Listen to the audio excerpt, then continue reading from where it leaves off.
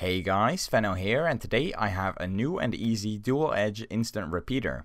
I made this a while ago but I had no idea if it actually had any practical uses until I stumbled upon Sancarn's Zero BUD video. If you're interested an annotation to that video will be on the screen right now as well as down in the description. So let's get on with this build here.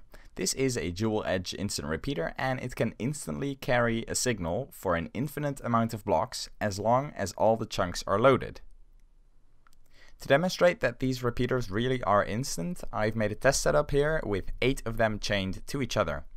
If this is instant, the output should toggle the same tick we activate the first one, and if it's not, then we will see a notable delay between the two. So let's just check it out.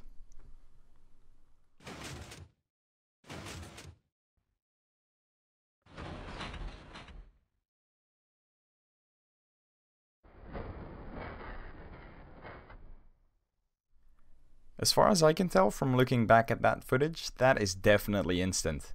I leave a world download with this testing setup down in the description if you want to check it out for yourself. And again, if you want more information about this whole zero tick budding thing, I highly recommend checking out Sancarn's video because he explains it better than I ever could. But yeah, that's basically it. So thanks for watching and I'll catch you guys next time.